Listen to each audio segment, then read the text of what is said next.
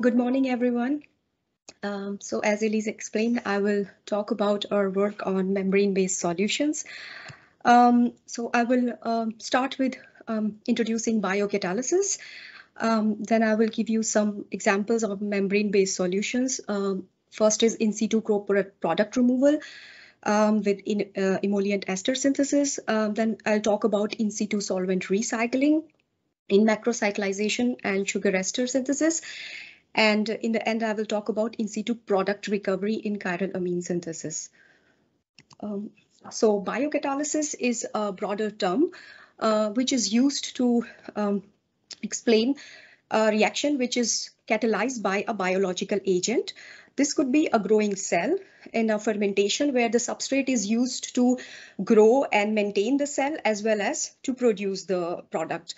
Um, on the other hand is the dead cells where the enzyme is uh, removed from the cells. Um, the fermentation can be a de novo fermentation where uh, the uh, substrate or the carbohydrates are used to produce primary and secondary metabolites by the product or a precursor fermentation where an external agent is um, uh, converted, for example, the uh, uh redox reactions uh, uh, or hydroxylation of steroids and such examples. When we talk of the dead cells um, or inactive cells, then we can also use the whole cells as such without extracting the enzymes from them, or we can use really the cell-free enzymes where the cells are also removed and we really have an isolated enzyme uh, which has to be replaced after its inactivation. Um, and the examples which I present here are with the cell-free enzymes. Um, enzymes are uh, safe and sustainable catalysts. They are non-toxic, non-hazardous. Uh, they work at milder temperatures and very, very selective. They have very high chemo, regio, and stereo selectivities. So we have low or no side reactions. And uh, they are produced from renewable resources, as I just said, by fermentation. And then um, the cost of producing them is quite predictable and stable. Um, there are some concerns with the use of enzymes, which are associated to some cost, availability, stability. Um, then their dependence on cofactors, especially for the oxidoreductase group of the enzymes, and development time. Um, cost, development time, availability are more associated with the new enzymes. Looking at the biocatalysis landscape and its potential today, um, so enzymes, they were used traditionally in uh, food, beverage processing, detergents, and uh, later after 1970 or so, it was became it became evident that uh, okay, these isolated enzymes can also be used to catalyze non-natural compounds. And then in the last 40 years, biocatalysis really emerged from a fringe technology to a very established technology which has uh, relevant industrial potential. Um, especially the last two decades, um, biocatalysis has benefited from two very important technology of uh, 21st century, which is uh, biotechnology and information technology. Uh, biotechnology helped us to uh, change what was naturally occurring and information technology enabled uh, the use of searchable databases and predictive computer assisted modeling. Um, due to these advances in the coming years, we are now not limited to uh, nature's biochemistry, but we will see more and more non-naturally occurring uh, reactions as well. Um, so the biocatalysis landscape is highly rich and it has a lot of potential. Uh, but industrial implementation of enzymes, especially for bulk chemistry, still stays a bone of contention. Um, so there has been a lot demonstrated for the industrial organic synthesis, but the scope needs to be expanded. Um, what do we need? We need uh, engineering uh, of the superior enzymes and expanding the toolbox. And sometimes these enzymes are already existing. We have good enzymes for the some of the processes already. And uh, then the recovery and reuse at that moment is important. And here enzyme immobilization has um, uh, made a big uh, revolution because um, when the enzymes are immobilized, they are really seen as recoverable, reusable, heterogeneous catalyst, which improves their performance in organic chemistry. And the last, but the most important is also the efficient process. So going from a discovery of the enzyme, engineering the protein, demonstrating the reaction in a laboratory scale condition, we also need efficient processes to bring enzymatic process closer to the industry. And here the protein engineer and the process engineer has to work together in tandem to um, face this challenge. Um, I will here now start with the example with the membrane-based process uh, for in situ product removal in an emollient ester synthesis. Um, so esters are compounds which we used in our daily life in the food, cosmetics, lubricants, fragrance, flavors, biofuels, a lot of them contain esters. Um, and traditionally, um, in a conventional process, the esters are produced by the reaction between an acid and alcohol. Um, and these reactions are done um, with metal or acid catalyst at around 200 degrees. Uh, due to this, the uh, thermo-induced side reactions are produced uh, are formed and we have a malodorous or dark product uh, which requires further process processing um, like bleaching with hydrogen peroxide, deodorization, and then eventually all that waste has to be removed um, and we have to uh, final uh, finalize the um, DSP steps. When we look at the enzymatic production, um, for some of the um, esters, we can even do solvent-free reaction, which means we just take the two substrates, the acid and the alcohol, and do the reaction at a temperature around like 60 or 70 degrees. And we have a very pure product, which requires minimal downstream processing. Um, and esterification is an equilibrium reaction. So um, we have acid and alcohol and we have water as a byproduct. It could be methanol or um, other alcohol depending upon which uh, starting material we use. Uh, now to, to really bring the reaction to completion, we need the continuous removal of byproduct, in this case water. Um, and there are various methods for water removal like reactive distillation, molecular sieve absorption, blowing inert gas, or pervaporation. But the choice really depends on the physicochemical properties of substrates and products. Uh, for example, if we are blowing an uh, inert gas um, through a reaction which contains uh, close boiling substrates or azeotropes, um, our reaction or our uh, method of water removal wouldn't be so effective. And there, uh, pervaporation as a technology can uh, play important role. So what is pervaporation? It is a membrane process which is used for the separation of binary or multi-component liquid mixtures. And it is a combination of permeation and evaporation. So we have our feed, uh, which is in the reactive, in contact with the reactive site of our membrane. Um, and the membrane is a dense and non-porous uh, uh, medium uh, which leads to the separation. So the feed components in the feed have affinity towards the membrane. This membrane could be a hydrophilic membrane or a hydrophobic membrane. And the uh, permeating components pass through the membrane uh, where other side that we have uh, some vacuum which helps in desorption or the collection of the permeate on the other side. Um, so um, here is the integrated reaction and pervaporation in a laboratory. So we have a packed bed column which contains enzyme and in this side we have a reactor loop. This is a tank which contains our feed where our product is continuously forming and on the right side is the membrane, pervaporation membrane which continuously removes water. Uh, this is the reactor in the uh, laboratory. So here is the packed bed column which is connected to a reaction vessel and on the right side these are tubular membranes which we use for water removal continuously from the uh, reaction setup uh, from the reaction mixture. Um, so looking at the results uh, we have um, high conversion of uh, the fatty acid substrate. So what did we do? We have acid and alcohol in two on one ratio. This is for isopropyl palmitate synthesis. I don't know if you still see, um, yeah, how can I remove this? Um, but isopropyl uh, palmitate synthesis is palmitic acid and isopropanol. So we use two molar of isopropanol with one mole of uh, palmitic acid. Uh, eventually, we have uh, less than 28% residual alcohol in the product, 1 to 2% acid, and the uh, maximum amount is the product that we want. Um, here on the right side, uh, you see the water removal. Uh, we let the water accumulate in the reaction and then start the evaporation to remove the water continuously. Um, and this uh, reaction has a very stable performance. We did not have any loss of reaction uh, substrates or products during water removal. Um, so water is very selectively removed and the enzyme and membranes performance was uh, very stable. Uh, this reaction is also um, demonstrated for couple uh, glycerol esters in this uh, integrated setup.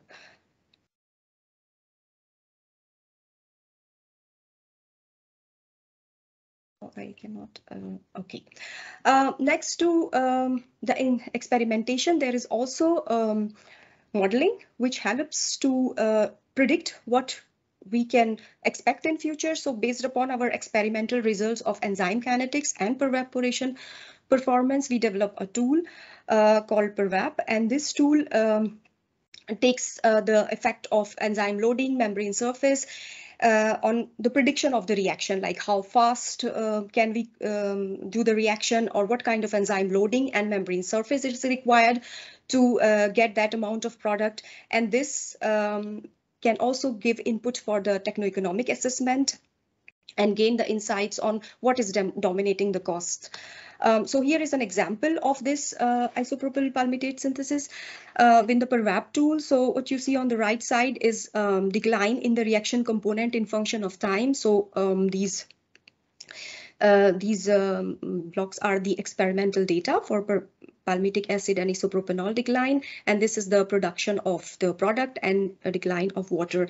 And uh, you see that we simulate it with two um, enzyme loadings. So the yellow line is one gram per kilogram enzyme loading, which is much closer to the experimental data. And then the blue line is um, the 15 gram per kilogram enzyme loading, which we actually had used, but um, the modeling told us that there might be some diffusional limitations, which we can avoid and can get better performance from the same amount of enzymes. Um, and here uh, on the left, you see that uh, when we ran our reaction at 10 times higher speed, we get a much faster conversion.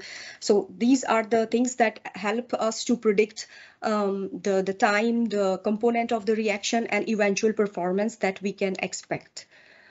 Um, also, um, looking at the techno-economic assessment because which is then again very important to really predict um, how close is this process to what we are thinking.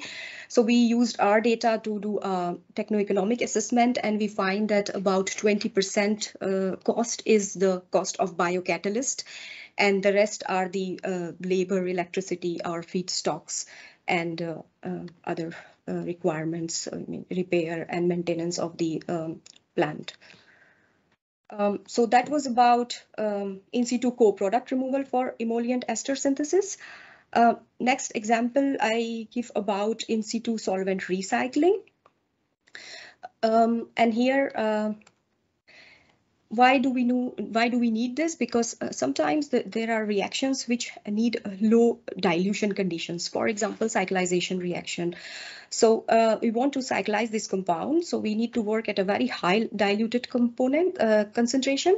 But if we increase the concentration then we make oligomers and polymers of this monomer and we do not really achieve uh, what we want. So we have to work at high solvent load conditions and their uh, membrane process can help by integrating the solvent recovery, uh, which can really improve the yield, and pur purity and also reduce the mass process mass intensity, which means the, the amount of waste that we are generating uh, uh related to the amount of product we are formed that can go down. Um, so one of the example that I can now show is uh, for this peptide uh, cycling. So here are uh, some sulfide groups in these uh, nanopeptides, which um, cyclize uh, to form uh, these uh, cyclic peptide.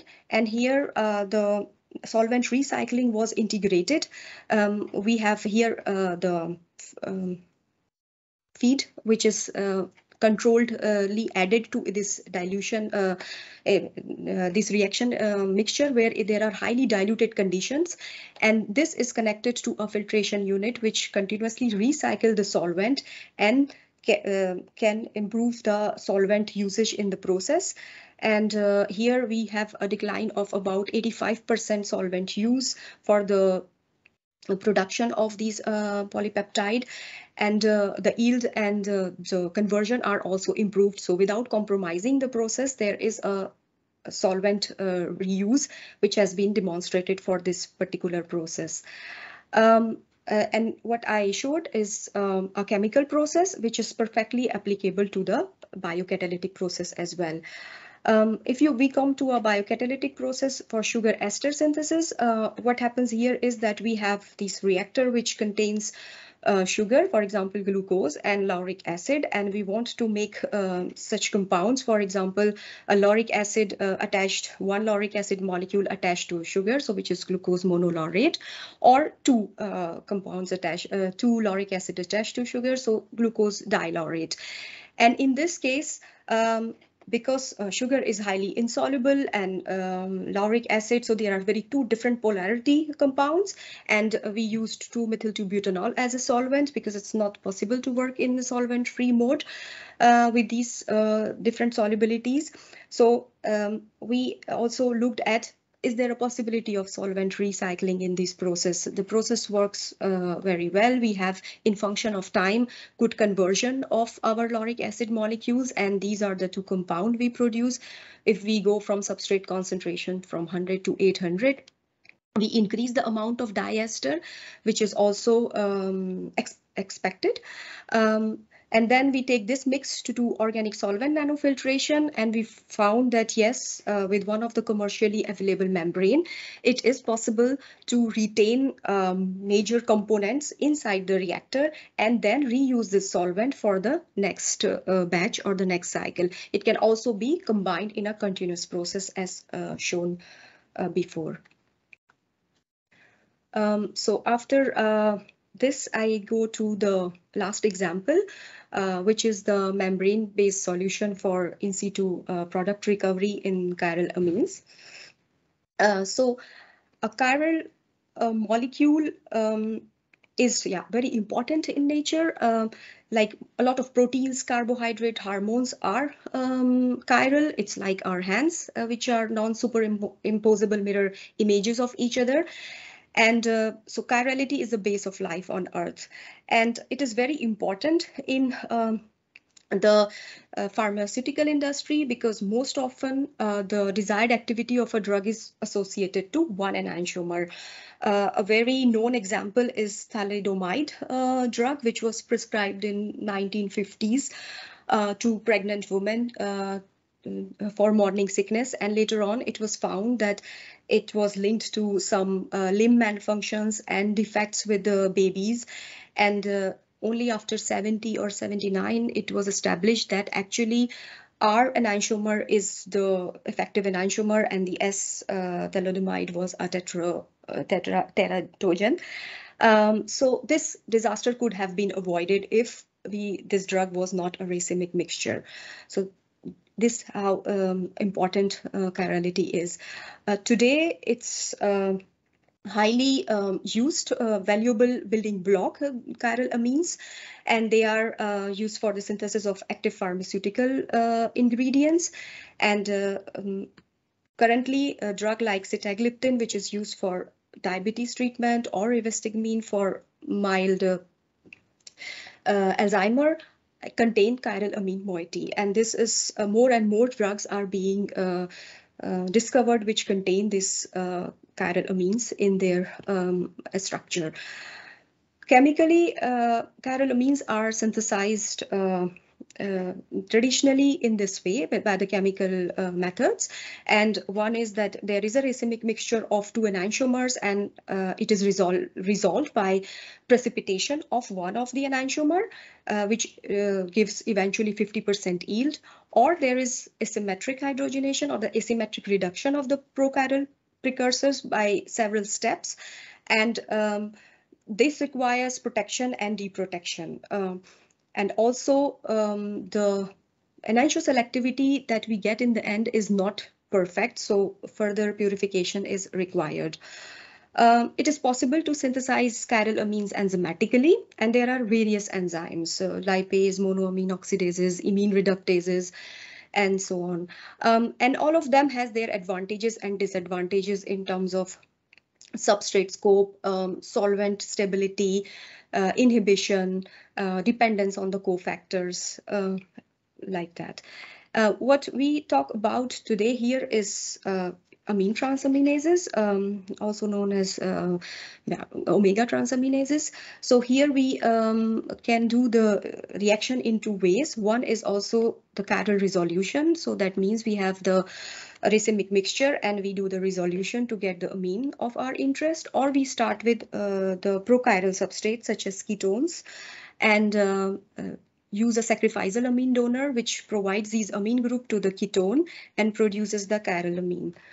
Um, so what are the advantages that these ketones, they are readily available uh, building blocks or can be synthesized. Uh, the regio and stereo selectivity of biocatalysts are often quite good. And um, now a lot of engineered omega transaminases are available, which have broad substrate scope and stability. Um, there are some issues associated still with the reaction is um, there is unfavorable thermodynamic equilibrium, which means that uh, this amino donor needs to be provided in excess to really complete the reaction. Um, and uh, there are inhibition with, uh, with the product and uh, co-product that can uh, inhibit the enzyme. And uh, so to achieve the high yield in situ product or co-product removal is often required. So if there is a very efficient biocatalyst, uh, it's very good. But in case these issues occur, we need to um, uh, uh, investigate the process to really uh, get good yields.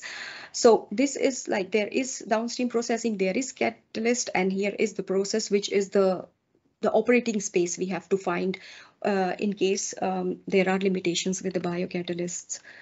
Um, so here uh, is the um, example of in situ product recovery. So what we did is, uh, as I explained, that we have a keto substrate and an amine donor to produce chiral. Uh, and this is often um, a short uh, amine donor isopropylamine that we uh, is used. Um, if we want to remove this uh, chiral amine uh, very uh, selectively, then we also lose the amine donor, which is provided already in excess. So we uh, change this amine donor uh, with some long chain jeffamines, which has much higher molecular weight compared to isopropylamine and um, use this reaction for um, process intensification in an enzyme membrane reactor and enzyme membrane contactor. Um, so in enzyme membrane reactor, uh, we used a nanofiltration membrane. So this is the reaction tank uh, under pressure, and this is the nanofiltration membrane. Um, this is a process which is under pressure, and uh, there is a certain pore size of the membrane, and the components which are larger than the pore size are retained, and the smaller are um, permeated. So it's working on the sieving effect and uh, using such a reaction. So the first important thing is are the commercially uh, occurring enzyme uh, can they use uh, as uh, amine donor? Uh, that was the first establishment. So that uh, there we found a commercial enzyme. And then combining this process with an enzyme membrane reactor, we saw that, okay, we can retain more than 85% of the amine donor by nanofiltration. And uh, we can enhance the process by additional 25% conversion of the substrate compared to the base case. Um, the, the next uh, method of in situ product recovery um, is the enzyme membrane reactor. So here uh, is the, the same um, uh, way that we use high molecular weight amine donor, but then enzyme membrane reactor works um, on a function of um, phase equilibrium that we have the reaction components um, and there is a membrane which is separating the two phases but is not giving any sieving effect. We have a counter current flow of two uh, so the reaction component also is here the reaction was done in organic solvent and heptane. Uh, the one advantage to do reaction in an organic solvent compared to uh, aqueous is that we can have higher solubility of our substrates, uh, such as these kinds of molecules as benzyl acetone. Um, and we can very selectively extract our amine in the aqueous phase. Um, and in this case, it was an acidic aqueous phase so that the amine which is uh, extracted in this aqueous phase is trapped and we can avoid the back extraction. Um, here uh, you see the schematic. Here uh, are amine donor and enzymes were um, uh, at the bottom of the reaction and n-heptane is the liquid phase which brings uh, to which our product transports and uh, by the uh, contactor mechanism we could extract the um, buff, uh, the product amine into the aqueous buffer. Uh, this improved the process four times uh, compared to the reaction uh, without any extraction. And it also gave 95% um, product, pure product in the aqueous phase. Um, with that, I can uh, conclude that membrane assisted technology can intensify the enzymatic processes as I showed you uh, evaporation uh, is highly effective for in situ removal of uh, water in the reactions which involve volatile substrates or products or azeotrope formation. Um, Model-based approaches can help in prediction of uh, the reaction conditions uh, or process designing for uh, similar kind of reactions in future um, then nanofiltration as a technology for solvent recycling, where we really need to work in dilute conditions due to the solubility or other reaction related issues. Then membrane extraction and contactor, where the selective extraction of the product um, is possible in a complicated matrix.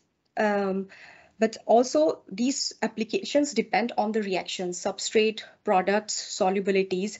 So we have to devise each time a tailored solution to provide intensification uh, in a enzymatic reaction. And with that, I would like to thank all my colleagues at VITO, uh, Winnie, Lieve, Martha, Helmut, Wouter, and Dominique, whom I work closely with, and also Claudia, uh, who did her PhD at VITO, and she did the work on the chiral amines. Um, so with that, I would like to um, thank all of you for joining. And if there are questions, uh, yeah, I would be very happy to answer them.